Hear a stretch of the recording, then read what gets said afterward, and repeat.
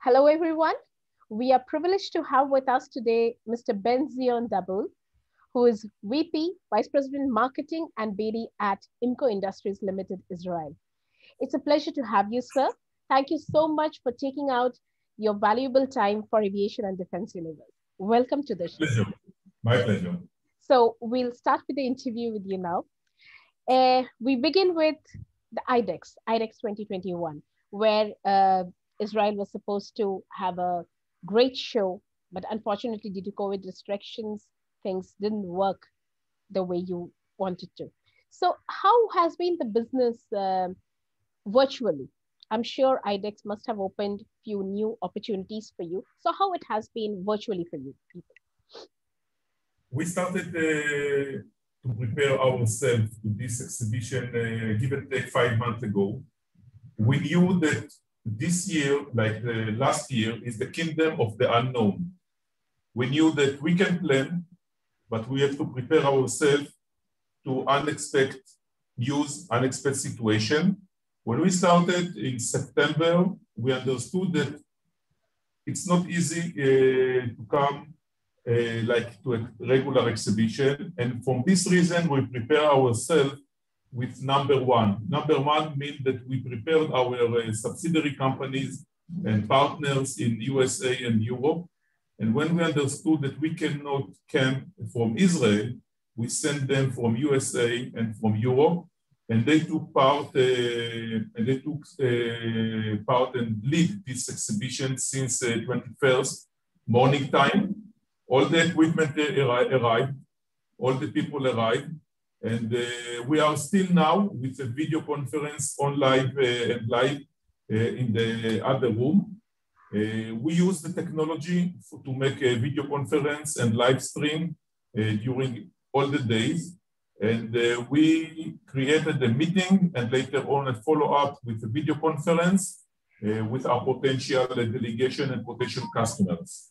All the people that we invited arrived and the people that uh, arrived and didn't meet us create this meeting via the video conference. It's not the same like personally, but that's life. We prepared ourselves. I think that it was quite well. Great.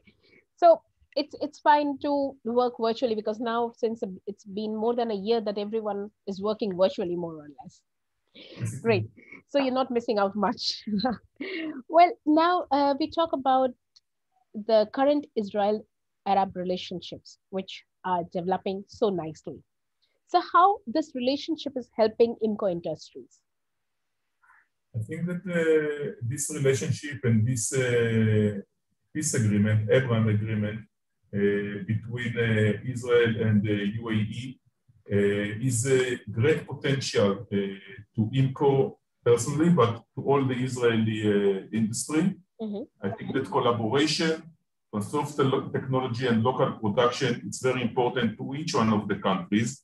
Each one of the countries want to bring more job to his place. And we are open uh, for these uh, capabilities. I think that it's a great future. So this has enhanced your business in the MENA region, the Middle East region?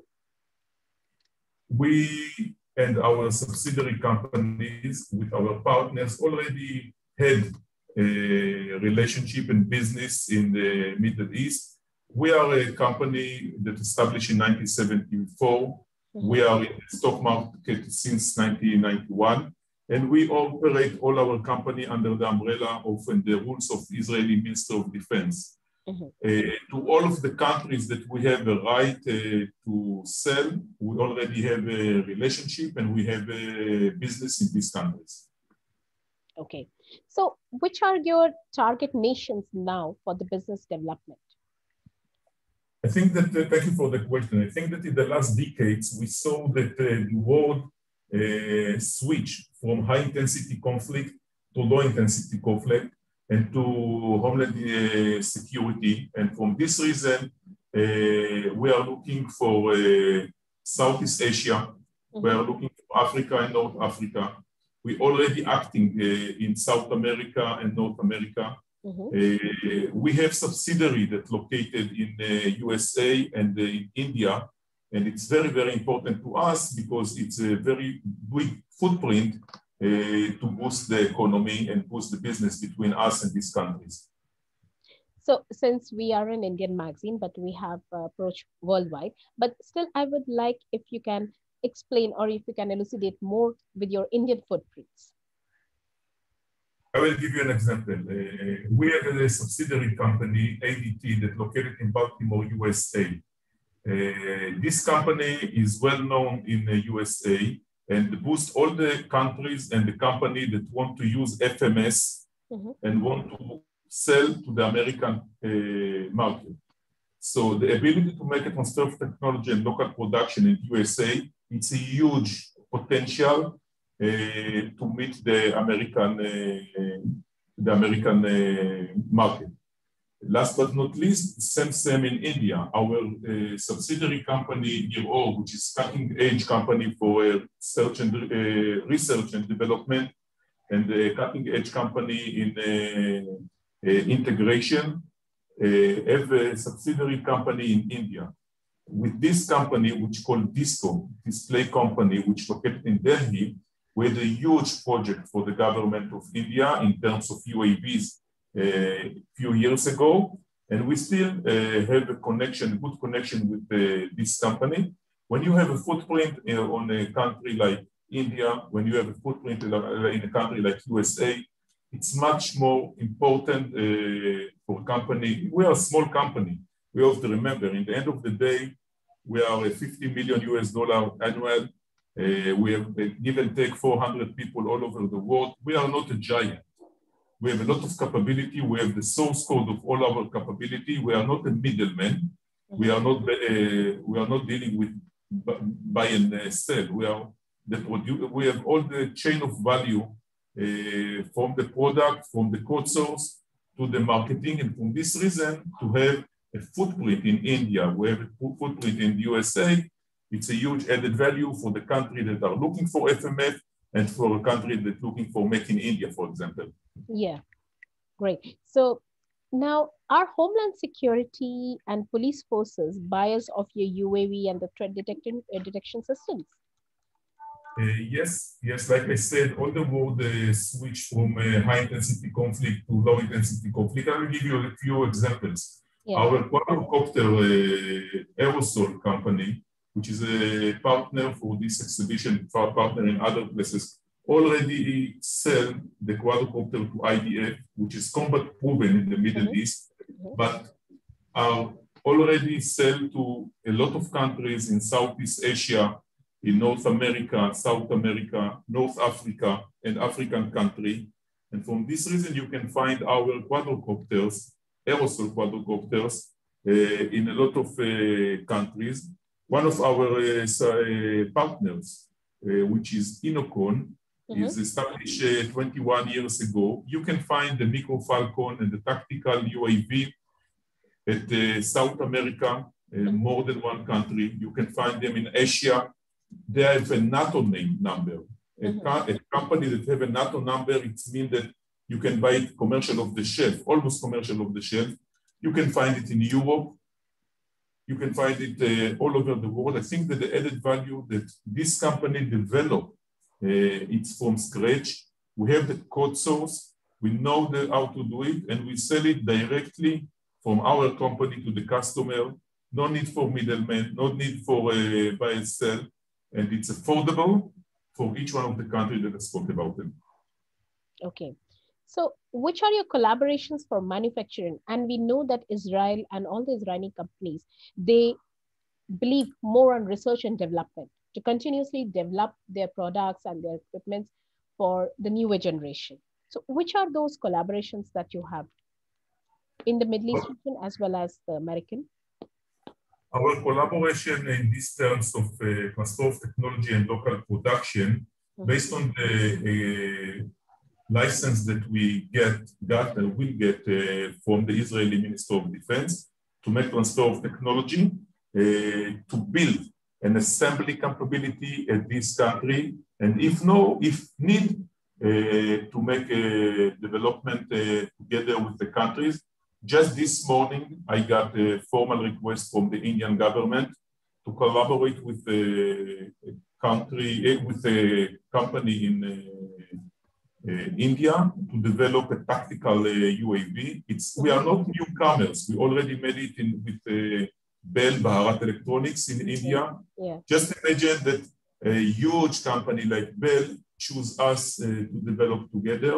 We have the same uh, capability with uh, a very big country, friendly country in Southeast Asia, South Korea, to develop the tactical UAV. And we open to develop together, to assemble together, and to build together because we believe that each one of the country would like to boost its economy and want uh, to bring uh, more uh, worker for blue collar and engineers and the doctors in the same country. It's a win-win situation. So more or less, IMCO Industries is having its footprints almost in every region in the world, isn't it? Yes, we are very, very small. We are very light. We have an agent at uh, 35 countries uh-huh. in South America, in Africa, in Southeast Asia, in Middle East, of course, in India. And we are open uh, to make the transfer of technology. We are open to make a development together with uh, our uh, associate and our uh, partners all over the world. We already made it in the last 45 years. I believe that we will make it in the next 45 years. So are there any untapped markets you're looking forward to? We are looking for uh, the market of uh, Africa and uh, North Africa. North Africa. We believe that our experience at this group uh, with Africa is very, very important. We are looking for the Indian market, which is huge, based on made in India. And we are looking for the uh, American, North and South American. Uh, all the globe is behind us. And uh, we are looking uh, to develop our uh, business all over the globe. We are not located only, and we are not limited only for one region. Okay. Finally, your comments on IDEX, though IMCO could not be present there physically, but you have your subsidiaries there and business has been good. So your comments and your what you expected out of IDEX and how it has come up we understood that uh, we came from this business. All the management of this uh, company came from the uh, security uh, industry. All of us served in IDF, and we knew that uh, it's a challenge. We, I think that the last day of uh, IDF uh, teach us that even in this situation, we can create collaboration, we can create an agreement with the local countries, and we can uh, push the, our uh, company to a new market. We came with a very big boot. We came with five companies.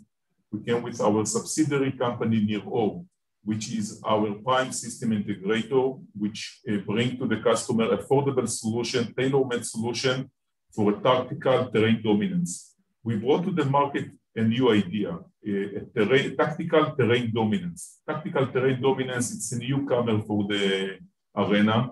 And it's very, very useful for a country that want to push uh, low intensity conflict, border protection, and perimeter protection. We found uh, IDEX a very good uh, arena uh, to share this knowledge with uh, our uh, partners, our potential customer. And we are already prepare ourselves to the next step and to go to the next exhibition. Great. Thank you so much, Mr. Ben. Thanks a lot for talking to us. The information that you provided is really helpful, and I'm sure my viewers will enjoy hearing to you. Thank you so much. And in future, I wish to meet you personally in any of the shows or maybe in Israel. Your invitation is really dear to me. Thank you so much for taking your time. Thank you for the opportunity and welcome to Israel. You are our guest. Thanks a lot. Thank you.